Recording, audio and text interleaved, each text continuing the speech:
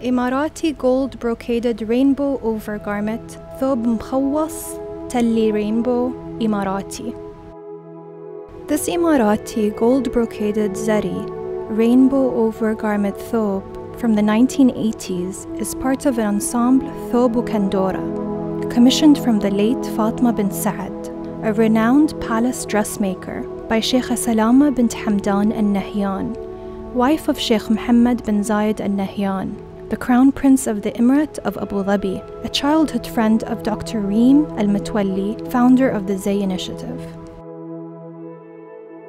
The main fabric is light silk chiffon with the green, fuchsia, red, and blue checkered motif with gold brocading, mkhawas or mzarrai. The neckline, bidha, is adorned with telli work of red silk thread, prism, and gold metallic straw, khus.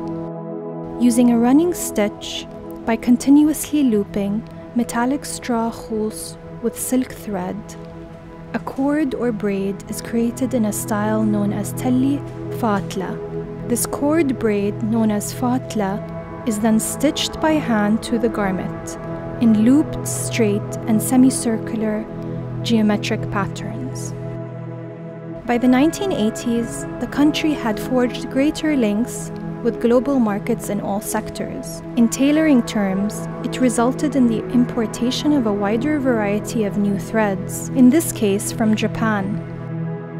This garment is an important item in the development of Emirati clothes making, as it marks the introduction of Japanese multicolored metallic straw, khus, telli rainbow, to Emirati cord braiding, telli techniques as can be seen in the heart shaped stump work motifs.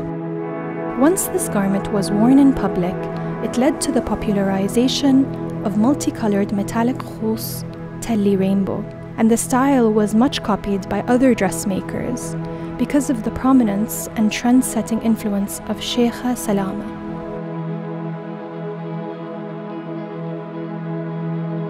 The Zay Initiative an ode to the past, a nod to the future, a collection of Arab dress and adornment, celebrating human narrative.